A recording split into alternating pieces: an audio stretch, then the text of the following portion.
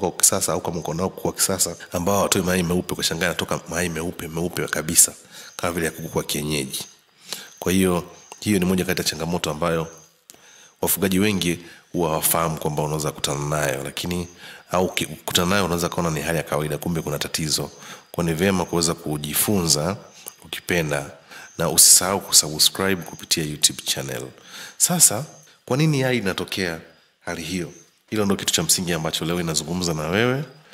Hali hiyo ya yai kuweza kutokea kuwa jeupe na baadhi ya maeneo kama mbele kama limeliwaliwa au kama limelika hivi eh, na linakuwa halina ile ganda la yai linakuwa halina rutuba. Maanake ni kwamba ni kama vile eh, lipo kama teketeke teke wanasema eh, lakini kwa mbele kama limeliwaliwa hivi au kwa nyuma yake kwenye sehemu ambayo imechongoka kama limeliwa eh, yani haliko kikawaida. Sababu kubwa ni kwamba kuna shells ambazo zinazokuwa zinahusika katika kutengeneza ile rangi zinapokuwa zimefail kulingana na baadhi ya sababu mbalimbali, ndio napelekea yai kutokuwa na shepu nzuri, lakini vile vile pia rangi yake kuweza kubadilika. Sasa kuna baadhi ya sababu mbalimbali ambazo zinaweza kusababisha kama hivyo unasema shells glands kama hazitoweza kufanya kazi vizuri, lakini pia kuna mambo ya disturbance kwa maana ya usumbufu. Hii inawezekana na mfugaji mwenyewe au mhudumiaji au jirani au rafiki ambaye yuko katika maeneo ya banda husika. Kuna stress pia na nyewe pia ni moja kati ya sababu ambayo hasa katika kipindi kile ambapo ile process ya kufanyika kwa utungaji unaendelea.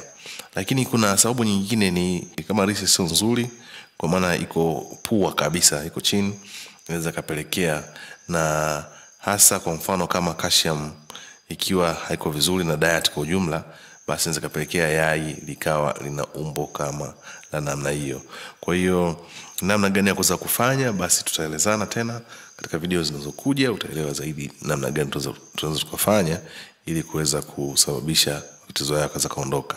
Lakini kifupi ni kwamba kama usipozingatia, matokeo yake ni kwamba kwa mfugaji utajikuta unaingia hasara, kwa sababu uh, hutopata wateja ambao watakaweza kuku kununua mayai ambayo yana shepu mbaya, lakini vile vile pia hayana rutuba, kwa sababu kimsingi yai kama hili kama uh, process hiyo haitakuwa ime, ume, ume, umeisolve maana yake ni kwamba mayai hayo hayawezi muda mrefu, yataweza kuoza na kuweza kuharibika. Kwa hiyo kwa mfugaji hiyo ni hasara. Kwa ni vyema kuzingatia na kujifunza zaidi namna gani ya kuweza kufanya. Asante sana kuangalia Yagomba TV, usisahau kusubscribe kupitia YouTube na ukipenda kujifunza basi namba ya simu ni anza na plus 255 762 eh, 95366 yani 0762956366 ukianza na code kama uko nje ya nchi. Asante sana na bye bye, siku njema.